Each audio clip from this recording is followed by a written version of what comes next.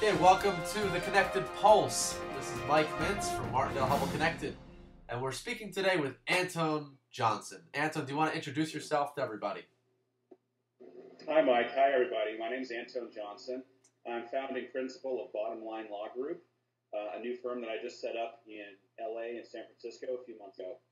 Um, I am an attorney focusing mostly on consumer internet, Web 2.0, social media, and other types of technology startup companies.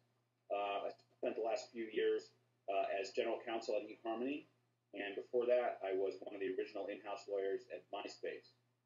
Um, so my practice focuses these days primarily on counseling smaller, uh, you know, lean startups and, and, growth companies looking to get into uh, the consumer internet business.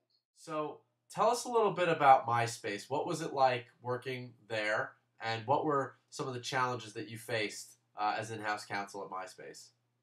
It had already become one of the fastest growing web businesses in history.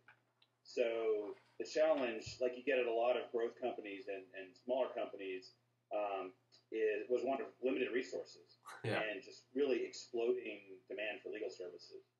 MySpace, which at that time was signing up probably two or three hundred thousand users a day. Wow. Um, hitting hitting something on the order of a billion uh, page views a month. Wow. Really just phenomenal. So everything, you know, pressure on every point of the system. So it was a big challenge trying to uh, handle that with a team of only three in-house lawyers. After the U.S. market became pretty fully penetrated by MySpace around, uh, I want to say 2005, 2006 or so, the next big engine for growth was international expansion.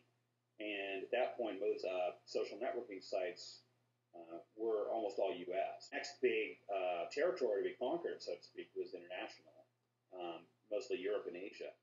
So the bottom line of a user-generated content service right. is that if the operator of that service is liable for any of the speech, any of the content, any of the activities supplied by users, um, that service will be sued out of existence within days. right. literally, you've got millions upon millions of people, including teenagers and you know whatnot, doing doing and saying everything you could possibly imagine. so in the U.S., there's a couple of laws which you know are extremely powerful safe harbors: the uh, Digital Millennium Copyright Act, of course, the MCA, sure, and Section 230 of the Communications Decency Act. Right. And those two things basically protect a service like MySpace in the U.S. from being sued for the content that our users uh, contribute. The, the EU has a pretty good safe harbor, which extends I think, to all the EU member countries. It certainly covered the UK and gave us comfort that we weren't entering some kind of huge, you know, risky zone in doing business there. Um, but the other big area where the EU uh, is tricky is privacy. The issue there with the EU data protection laws is that they, um, you know, we, we were storing EU citizens' personal information on servers located in the US. Right. They don't consider the US to be a kind of quote good country uh, and is satisfying the uh, the standards of um, the, the of privacy standards, frankly, of a lot of Western European countries. Harmony, where you're doing you're doing e-commerce, so you have credit cards and you know you have physical address and phone numbers and name it, all kinds of stuff. Sure. Physical attributes. I mean, uh, likes and dislikes, long walks on the beach. I mean, you're giving away a lot of information on eHarmony. So yeah, that's actually one. Yeah, that's one of the more interesting questions about about eHarmony and other dating sites. Is there's a, there's a big universe of data there which doesn't fit neatly into categorization that you get um, for you know kind of what's considered PII, personal identifiable information, right. and what's not. And you know, normally, at least in the U.S., we pretty much divide for privacy law purposes the whole universe of data into either to PII or it's non-PII. And PII would be things like your whole your whole real name, you know, your phone number or whatever, your right. email address. Well, on a dating site, it gets pretty interesting because suppose you know if I'm you know Tony from New York City, okay, good luck. You're not going to identify, right? But if I'm Antone from oh I don't know pick um, pick a small town Poughkeepsie right right? sure. Uh, and I'm you know a lawyer and I'm you know you know I'm 38 years old. Right. Um, even if you don't have my last name that might be enough to identify what what are really the key things that somebody that wants to expand their business take them overseas what what are the key things you would advise they pay attention to?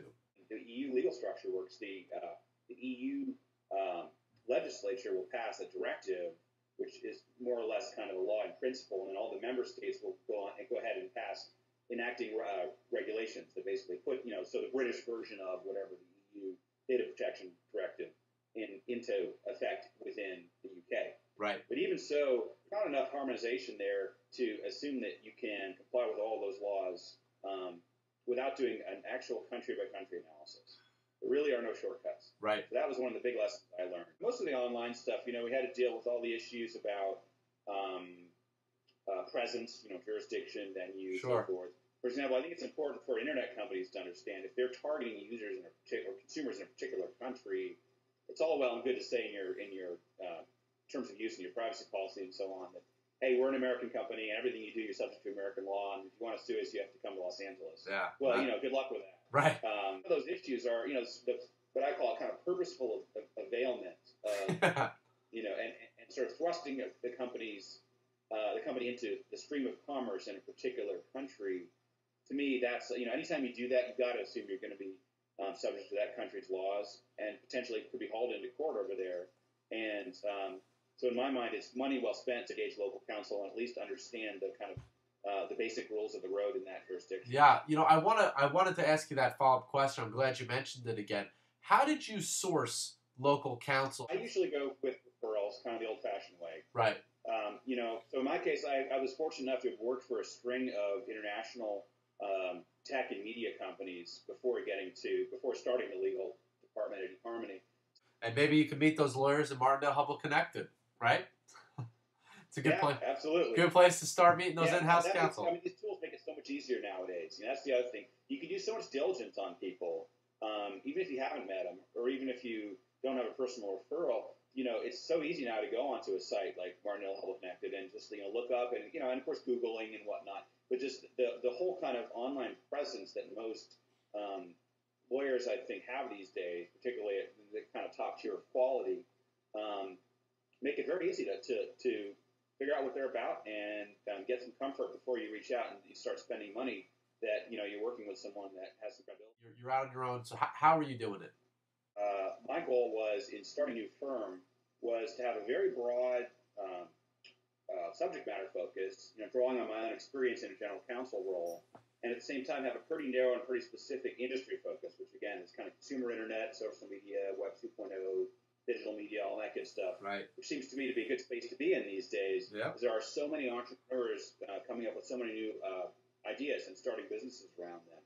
And a lot of those companies, you know, being small companies, limited resources, uh, you know, self-financed, or maybe getting along with a very small amount of seed capital. You know, my view was there's an opportunity there to serve as counsel to those guys um, with a lower, uh, a leaner kind of cost structure, frankly, than large firms. Okay, so this is uh, a series of, of 10 questions used by James Lipton on Inside the Actors Studio. So I thought since uh, this is our Inside the Lawyers firm kind of uh, video series, it would be interesting to uh, see your answers to these questions. So we'll begin. Number Okay. one What is your favorite word? Protagonist. And what is your least favorite word? Can I go with a phrase? Sure. Uh, outside the box. what turns you on? Uh, technology. I'm such. And what what turns you off? Bureaucracy. Great. What sound or noise do you love? Um, the sound of the coffee grinder when they're about to make an espresso. And what sound or noise do you hate? Jackhammering. What is your favorite curse word? Curse word? Yeah, we'll bleep, we'll bleep it out. Bleep it out? Sure. what profession other than your own would you like to attempt? Uh, musician. And what profession would you not like to do? Accounting. Me too. Sorry. If heaven exists, what would you like to hear God say when you arrive at the pearly gates? Um, all is forgiven. That's great. Well, thank you, Antone Johnson. Thank you, Mike. Yeah, I'm, I'm founding principal at Bottom Line Law Group in Bottom- San Francisco and Santa Monica, California.